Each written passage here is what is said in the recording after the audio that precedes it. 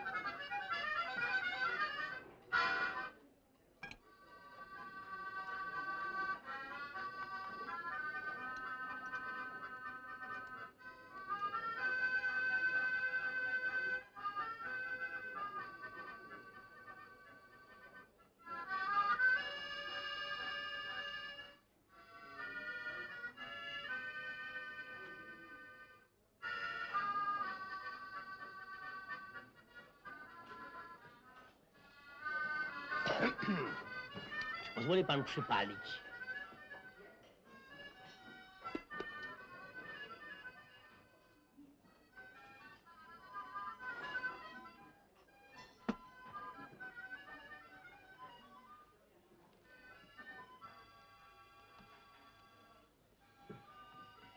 To bydle żyje sobie spokojnie, co?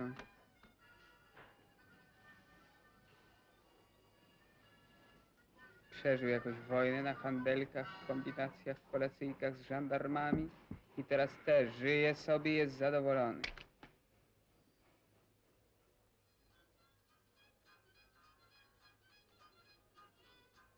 Siedzi sobie i żre. Czy myślisz, że w jego głowie telepie się jakaś niespokojna myśl, jakaś wątpliwość? Myślisz, że jemu kiedykolwiek wpadło do głowy, że to nie w porządku, że on siedzi tu, a dookoła niego skaczą ludzie? Jestem pewien, że ten facet maczał palce w jakichś brudnych sprawach. Zobacz, jaka morda. Że to bydle zdolne jest do wszystkiego. Bredzisz. Gość jak gość pije piwo, czepiasz się. Wielką improwizację ma ci wygłosić. Gość jak gość pije piwo. O to właśnie chodzi, rozumiesz? On tutaj siedział przed wojną, siedział za Niemców i siedzi teraz. Siedzi przy tym samym stoliku, żre i pije piwo. I co z tego? A ty co robisz? Ja? Jakby ci to powiedzieć? Ja takiego wieprza jak ten mogę wybebeszyć bez mrugnięcia, rozumiesz? No to co, że go możesz wybebeszyć? A no nic. Rozglądam się tak dokoła, po ludziach się rozglądam i myślę sobie, co ja z nim właściwie... Taki Hamlet ze mnie. Wszystko mi się rozlatuje, ani rusz nie złożysz. Czasem mam ochotę wyrwać stąd na koniec świata, ale przecież od własnych myśli nie uciekniesz. I matka już stara i w ogóle, wiesz. W zeszłym roku zacząłem chodzić na uniwersytet. Juma przerabialiśmy, taki angielski filozof. Czytaliśmy jego traktat o naturze ludzkiej, Treatise of Human Nature. Napisał taką książkę. Dowodził w niej, że nauka nie jest w stanie stwierdzić obiektywnych Gość mówi, że nie wiadomo, jakie rzeczy są same w sobie, że nie wiadomo, czy w ogóle istnieją, że świadomość ludzka ma do czynienia jedynie z potokiem postrzeżeń, a świat jest niepoznawalny. No i co taki Jung? Przecież ja wiem, że świnia to jest świnia. To prawda. Ale ja nie o tym chciałem. Więc zacząłem w tę naukę i w to wszystko obrastać. Zrobiłem nawet plan wykładów, ćwiczeń, proseminariów. Notatki starałem się prowadzić bardzo dokładnie. E, Myślałem, że niby trzeba zacząć od drobnostek, od zewnętrznej strony. Trzeba zacząć się doskonalić. A później miała przyjść kolejne rzeczy ważniejsze. No i zacząłem chodzić na te wykłady, a więc biblioteka, ćwiczenia, nawet kółko koleżeńskie. W rozmowach ze starszymi bardzo chętnie podkreślałem, że jestem studentem filozofii. Głosiłem nawet, że jest nam ciężko, ale dogonimy i nadrobimy. Więc ja to wszystko puściłem kantem. A teraz siedzę tu i piję piwo. Nie palę, panie. To świństwo. Ty znasz moją matkę, No, więc ja jestem jedynaczek, syneczek ukochany. Kupuję sobie miętowe cukierki za pieniądze od mamy i uczę się angielskiego. Trzeba wszystko dogonić i nadrobić. Ale co ja właściwie gonię? Dwa piwa. Raz golonka, raz... Pamiętasz kolację w Dmeninie? A. Szliśmy z Tomaszem na robotę. Akurat było świniobicie, świeża kiełbasa, salceson, bimber, po którym grom zesztywniał. Kołysceśmy go zostawili. Tak, potem się jeszcze trochę postrzelało. Gustaw, tyś wtedy z siekierą szedł na ten posterunek żandarmerii. Ja z siekierą, z pełnem. Tak, tak, z PM-em. Grom miał dubeltówkę, ty z siekierą. To na początku tak było. Siekiera lepsza była w lesie niż armata. Ja miałem damski pistolet, szósteczkę. Jeden na dół. I to niepewne.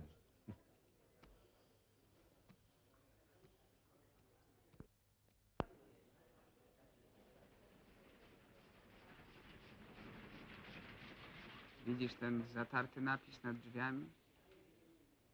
No, ten. Zeskrobany czarny napis. Tam był wtedy posterunek Banszut policjaj. Jak się siedzi przy tym stoliku, dobrze widać, jak z peronu wychodzą ludzie. Wtedy niełatwo było kogoś odróżnić. Wszyscy ubierali się jednakowo, że niby nikt nie chciał odbijać od tłumu. Czasami jakiś szalik albo kapelusz i gość wpadał niepotrzebnie. Wszyscy starali się być podobni, jednakowi, że po co narażać się swoim wyglądem. Matka tak samo. Chodziła w jakimś fartuchu, miała taką chustkę na głowie. Wtedy takich chustek było pełno. Matka w tej chustce jeździła na wieś po prowiant. Matka przez parę lat nosiła taką chustkę. Czasami w nocy przychodziła i okrywała mnie. To była taka stara, wytarta chuścina.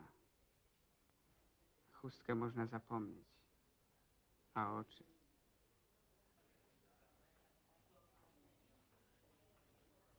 Wyszedłem wtedy po matkę na dworzec. Matka woziła ze wsi mąkę, chleb, mleko. Nie pracowałem. W domu było ciężko. Matka jest chora na serce, a to były duże toboły.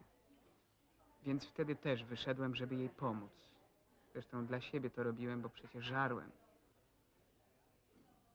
Jak się siedzi przy naszym stoliku, można widzieć ludzi wychodzących z peronu. Można pić piwo, przyglądać się. Przyglądać się. Czasem szły transporty wojska. To była jeszcze wtedy najpotężniejsza armia świata. Patrzyłem, jak to wszystko wali na wschód i myślałem sobie, czym to my ich pobijemy.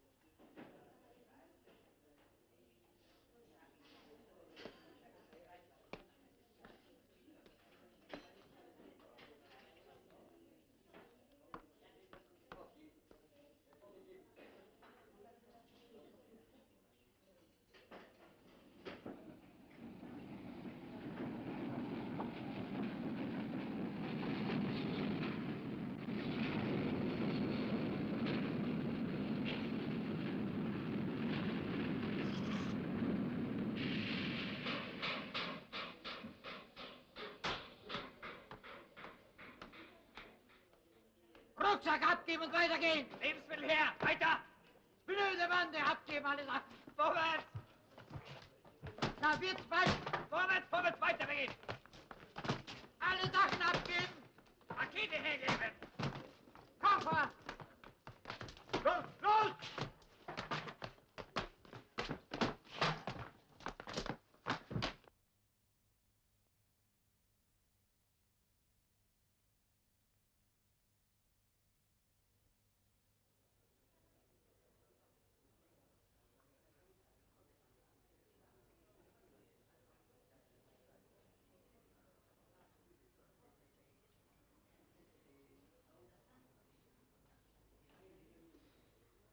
Zacząłem myśleć, popijając to piwo, że trzeba przeczekać ten bałagan i ulotnić się.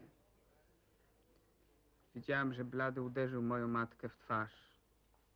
Właśnie moją matkę, a nie żadną obcą kobietę. Wtedy jak wyjrzałem, ja nic. Gdyby ją tam zaczęli bić dalej, siedziałbym tu i nie ruszył się. Ale może ci powiedzieć, co wtedy myślałem. Ułożyłem sobie taką historyjkę tu przy tym piwie. Jeszcze było słychać ryki Niemców, a ja siedziałem i układałem sobie bajeczki. Rozumiesz taką historyjkę? Siedzę tu przy piwie i rozglądam się po sali. Kelnerka nie zwraca na mnie uwagi. Jest ładna, ma czerwone, szerokie usta. Na poczekalni gromada Niemców, wszyscy w eleganckich mundurach, oficerowie i żołnierze.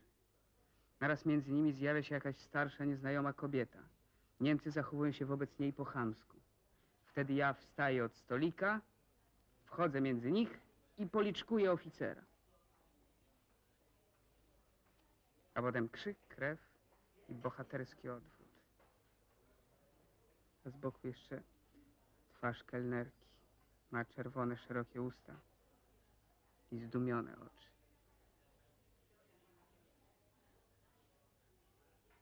Na poczekalni tamci ciągle ryczeli pewnie bili. Ja siedziałem i popijałem piwo. Zamiast iść pobiec za matką. Miała przy sobie te tobołki, była chora na serce, no i pobita.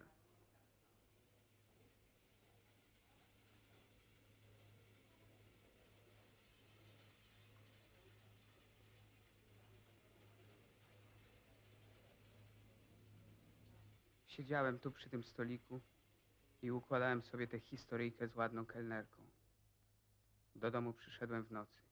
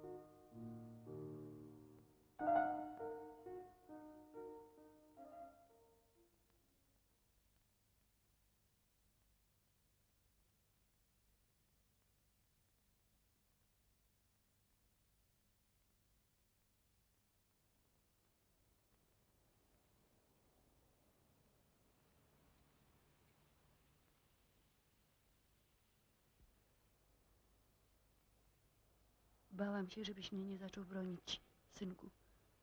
Tak się strasznie bałam, kiedy wyjrzałeś.